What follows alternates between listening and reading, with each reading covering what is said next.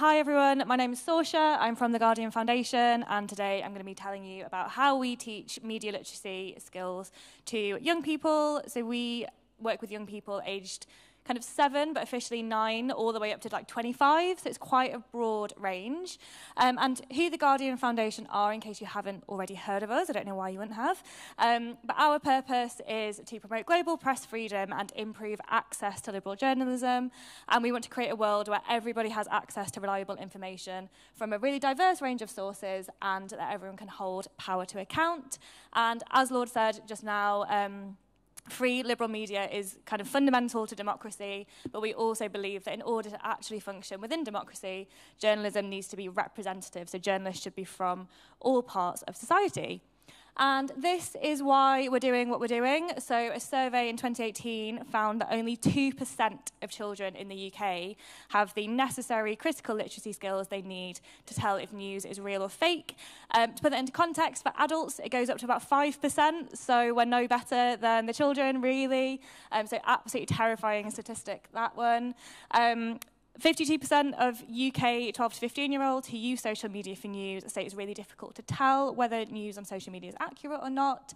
And 43%, sorry, Lord, I'm going to contradict you, they do say that they're not interested in news and they cite it being too boring or sounding the same or even too upsetting. So, what Lord was saying about people disengaging, lots of reasons there.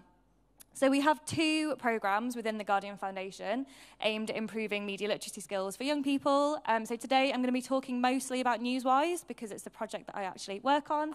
Um, Newswise is for 7 to 11 year olds and we work right across the UK. But we do also have a program for 12 and up, so 12 to about 25, called Behind the Headlines. Um, I won't be talking about that directly today, but everything that we do in Newswise is kind of echoed in Behind the Headlines. They just do it a little bit differently because um, obviously it's a slightly older age range. Um, so there will be some interaction in my session today. It's a very hot room, and we've got the afternoon slot, so you're going to be getting involved. Um, and my first question for you today is, where do you find out about the news? We've obviously heard a lot this morning about TikTok and social media, um, but it'd be great to hear if there's any other sources that you get your news from. It'd be good to hear from some of the younger people and some of the slightly older people in the room. Anyone like to volunteer? Yep, at the back. Telegram. Great, lovely, thank you. Anybody else? Yes? Um, I actually watch the news, which I think is, it has died a little bit, but Latin America, we, younger people do still watch the news a lot. Great, so TV news, lovely. Yep. 9GAG? Is that, yeah, great. Is that an app? Yes, it's also a website at the same time. It's like the PG, PG version of Reddit, basically. Lovely, thank you. Anybody else? Yes. Word of mouth, good. Yep, so talking to friends and family. Yes? Yep, great. So Twitter, social media, other sites. Anyone read a newspaper anymore? Uh, yeah? Yeah, a couple of people nodding. I occasionally read a newspaper, but I think that's because I work in the Guardian office and they give us papers for free. So over lunchtime, a little peruse before I then just put my phone on top of the news and scroll on that.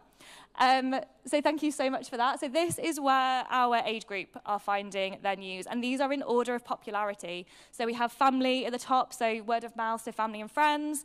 TV is actually still quite popular um, because kids just have TV on. Um, so TV is still really popular. Third is social media, but obviously it's on the rise. And then everything else is kind of there as well. And newspapers, unsurprisingly, right down at the bottom. So there's lots and lots of different places that people, young people, are getting their news. But um, trusted adults is the main one, TV, and then social media becoming increasingly common, as we know. Okay, next bit of interaction. It's coming so quickly. Um, we do fake or real quizzes in all of our workshops with our young people. We do it in all age groups. And they're a really good way of getting children to understand that when you see something on social media, it's completely out of context. And what you're doing is you're making a gut reaction to that piece of information. And you might be judging it or you might be believing it without any further information. So you're going to have a go at this this afternoon. I'm going to show you some headlines. And if you think the story is real, I would like you to put your hand up. When we do this with nine-year-olds, we give them pictures of the poo emoji on a stick so they can hold that up. I haven't got them with me today. Didn't have space in my luggage. Um, so I'm going to show you a headline, and if you think it's real, put your hand up. So did theme parks in California ban screaming on roller coasters to prevent the spread of COVID? If you think that is real, could you put your hand up? If you think it's fake, keep your hand down. And I want hands. Come on, guys, we're in a classroom. Hands in the air. Put them up. Okay, we've got maybe three people, four people. Okay, a smattering of people think that one is real. Would anyone like to tell me why you think it's real?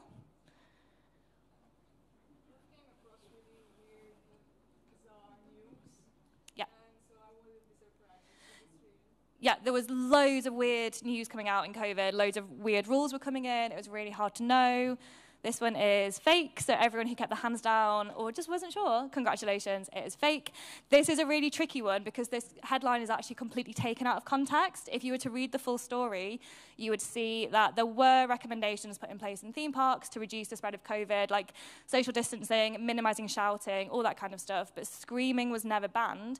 However, in Japan, they did ban screaming on roller coasters. So if you'd read the story about if you'd read the story about Japan and then you saw this headline, you'd be very, it'd be very understandable to put two and two together and think this is real, but it is not. So you would have to click through to read the whole story, and how often do we actually do that when we're on social media?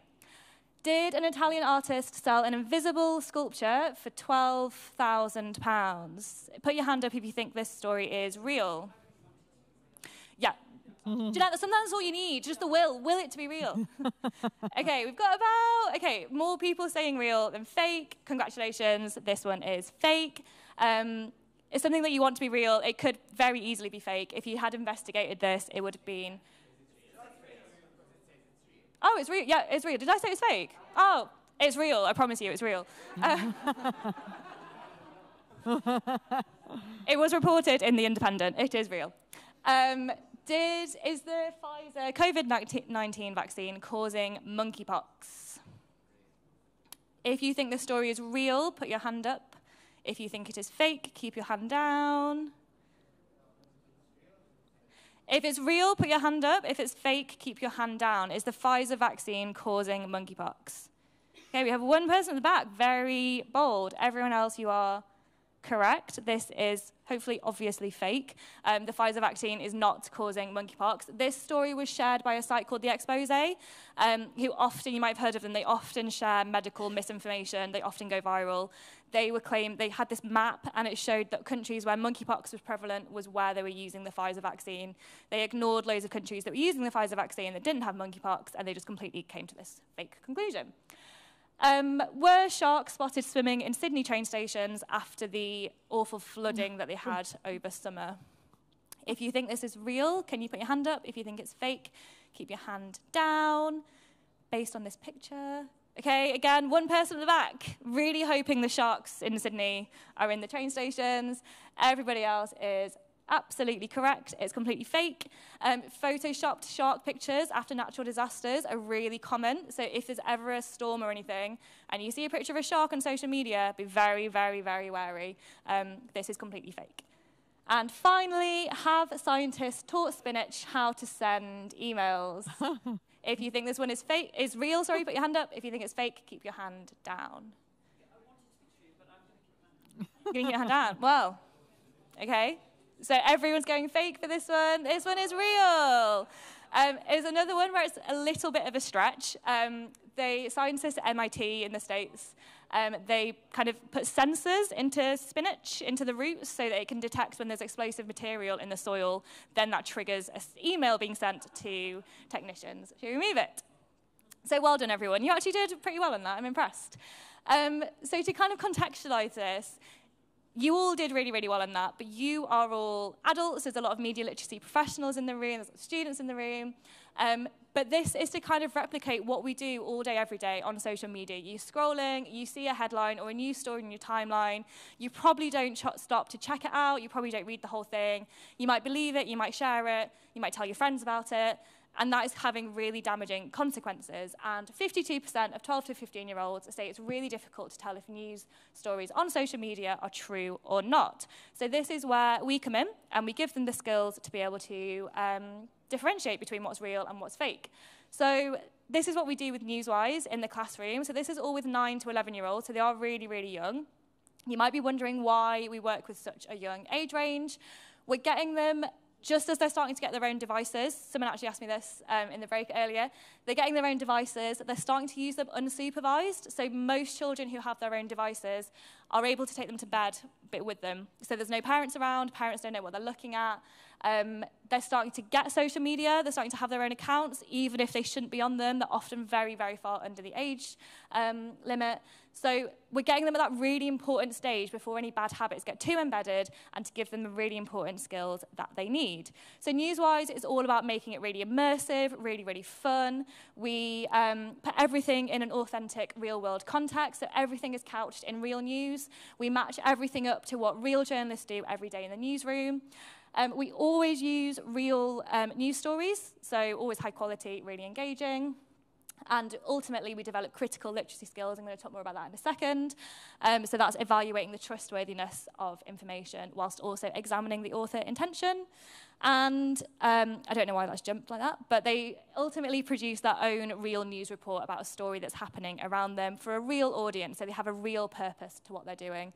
And um, all of this equips children with the confidence that they need to navigate the news. So this is how we do it immersively. We encourage teachers to turn their classrooms into real newsrooms. So you can see lots of pictures here that we have. Um, so you've got a um, classroom with a sign on the door saying that they're a newsroom now. They've got journalist training school, so pupils actually enroll in journalist training school when they start doing Newswise.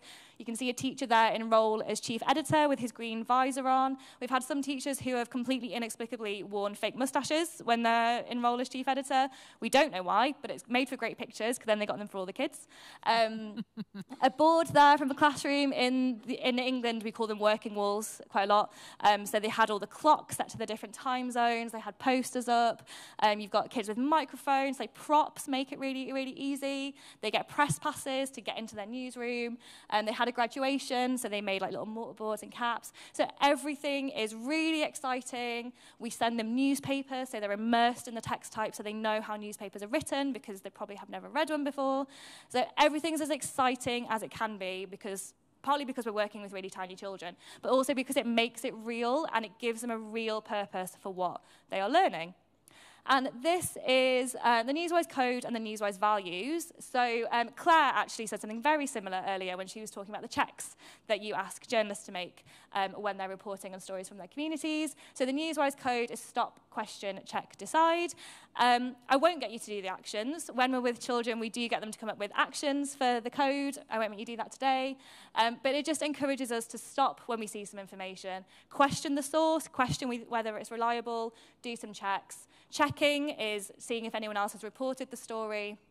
And then ultimately you decide whether it's reliable and trustworthy. And then we also have the Newswise values, and these are what we think all news should adhere to. So this is either news that you're reading and analysing, um, so children use it as kind of a code to check all the news reports that they read against, but also when you're producing your own news, everything should align to these values. I'm seeing Sean from Vice nodding at the back, um, Vice clearly following the Newswise values. Um, one of the really, really important parts of Newswise is getting children to understand how the news is made. Because the more they understand that people are behind it and people are making it, and that it's kind of actually made by humans, um, and the more they understand how it's all made, the better they can deconstruct it and kind of really get into it. So we put children in roles. So there's a lot of role play. So they have a go at being chief editor, desk editor, picture editor, sub-editor, and reporter. Um, so this is our desk editor activity, which is really, really nice to do. Um, you can do it right now in your heads if you would like to. Um, so we give them the news criteria that are used by um, editors everywhere, and a series of um, headlines to pick from, and you have to decide what kind of news organization you are, and then you pick which of these stories is going to be your lead story.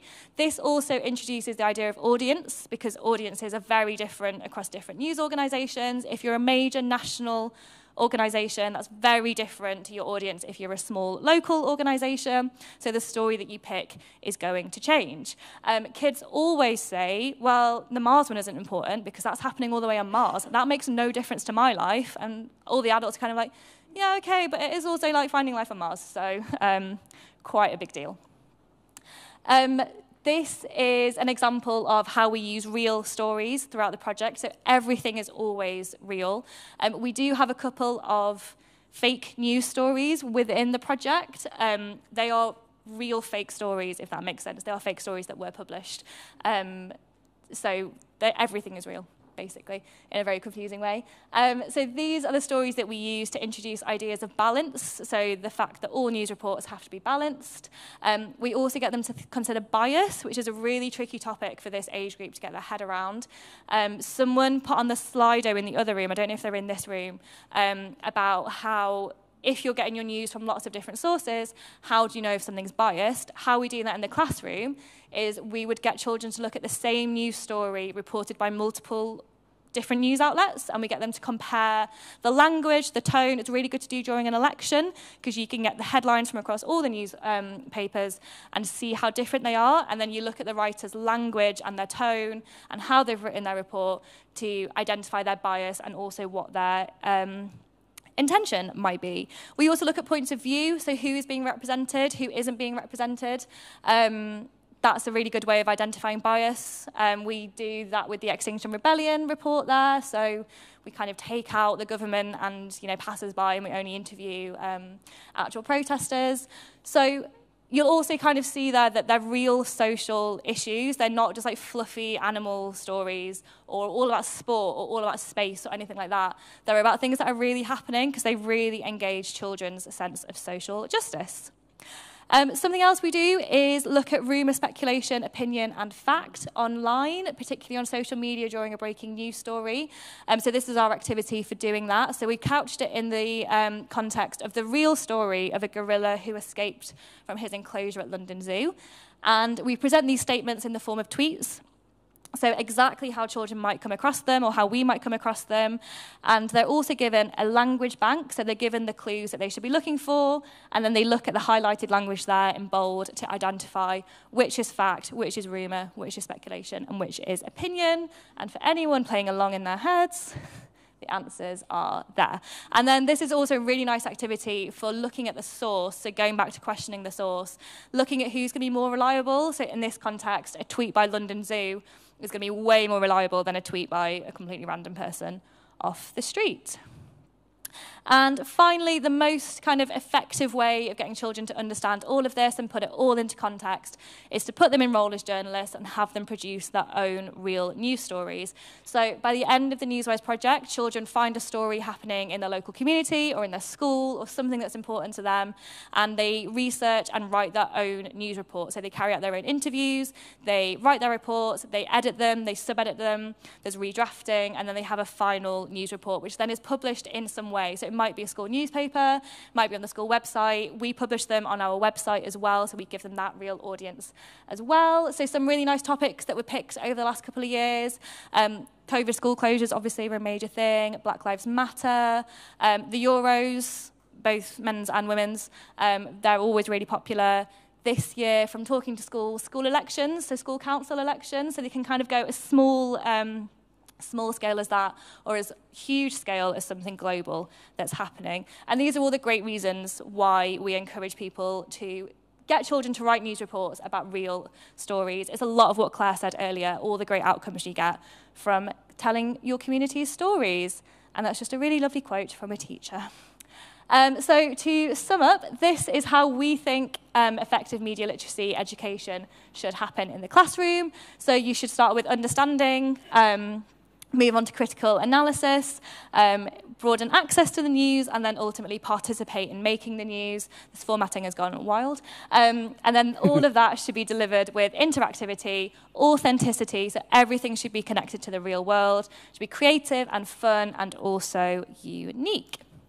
So my proposition for the manifesto mm. is thinking about how our young people, so aged I've said 7 to 18, kind of narrow down a little bit, um, going to be represented and spoken for in your manifesto? How are their media literacy needs going to be covered in the manifesto?